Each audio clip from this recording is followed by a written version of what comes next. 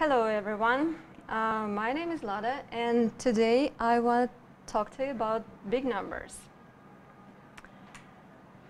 So, which numbers are exactly considered to be big? Um, well, Wikipedia uh, gives us the following definition. Um, large numbers are numbers that are significantly larger than those ordinarily used in everyday life.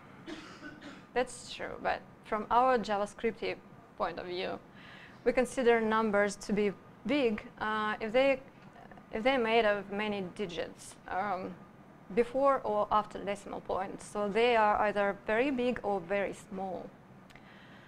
Um, big numbers are not all that exotic. They are widely used in mathematics, computer science, chemistry, geology, a lot of fields.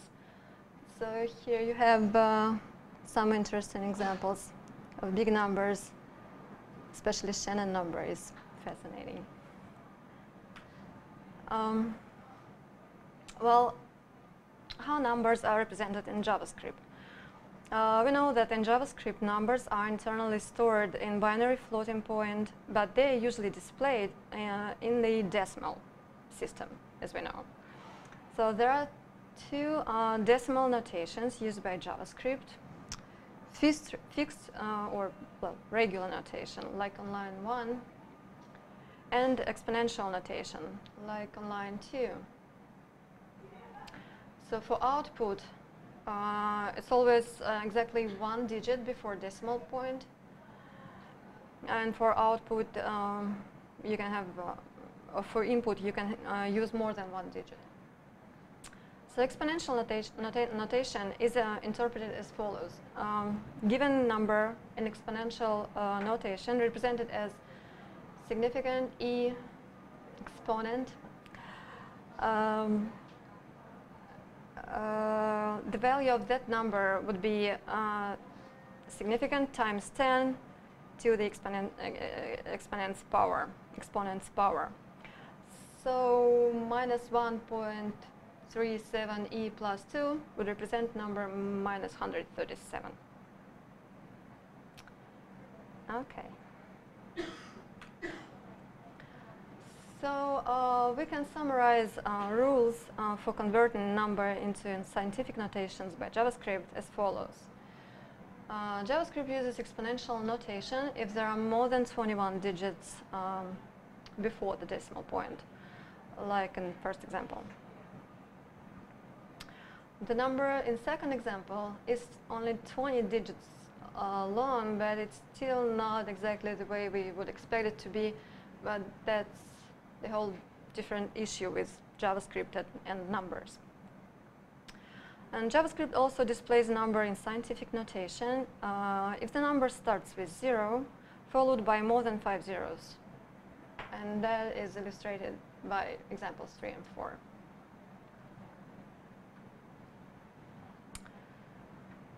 So scientific notation itself is a is good. It's a it's a very helpful tool for us humans uh, to understand how big or small the number actually is. Uh, it, it, helps us compare numbers more easily, big numbers more easily.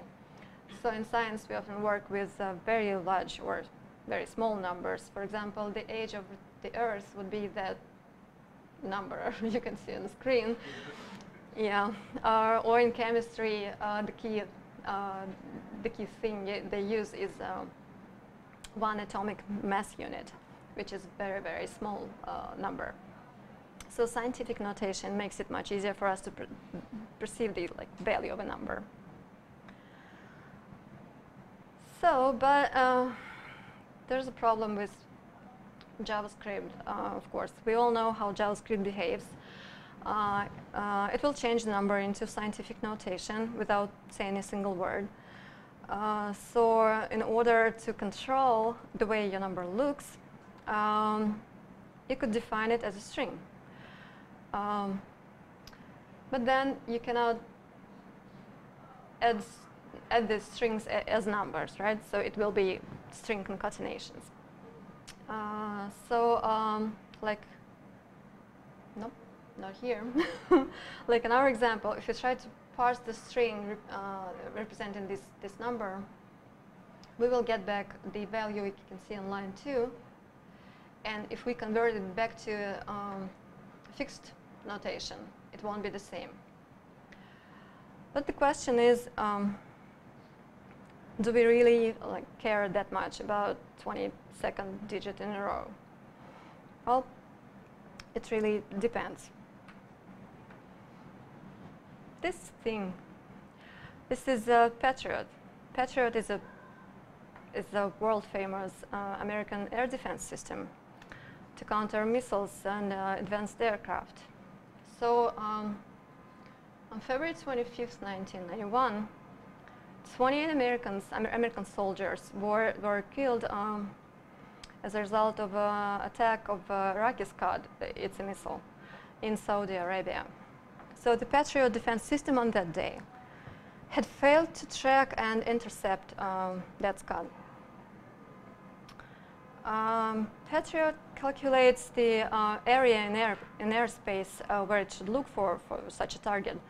Um, and it tracks, tracks this space like every one-tenth of a second, uh, which uh, cannot be represented precisely, so there's always a representation error. And it, this error sh should be this um, 9.5 times 10 minus to the power minus 10, mi minus 8.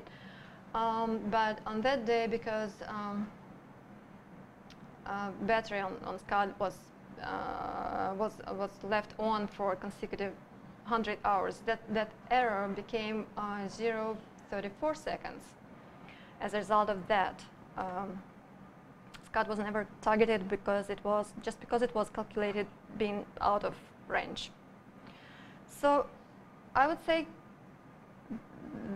yes, sometimes we do want our calculations to be as exact as it, as precise as it uh, like humanly and uh, technically possible. So um, what would be the solution here? When dealing with big numbers, um, you might want to choose another less creative but more predictable programming language like C++ or Python. But if it's just you, big numbers, and JavaScript, um, you need to you manipulate your number as a string. So um, we can represent um, integer of arbitrary size uh, as a string in JavaScript. But then we cannot perform arithmetic operations uh, on that, so those functions have to be uh, implemented.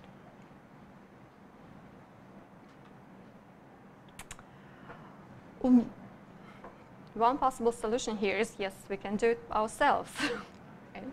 So we can write a function, and this function will sum up two strings. That's not the prettiest one, of course, but it works. But then there is a multiplication and division, and number is checking my function, and um, factorial, so a lot to implement. Fortunately, we don't have to. There are plenty of libraries out there to choose from, and those libraries, they do exactly that. They manipulate uh, numbers as strings, sometimes arrays, so no magic there. Um, um, they keep your calculations precise. So for example, raising 2 to the 1024th power will return you a nice 308 digits long number, not the infinity, which one more issue with JavaScript and numbers. These libraries are easy to install them um, and use. They're mostly like npm packages, so we can just npm install them and require them as usual.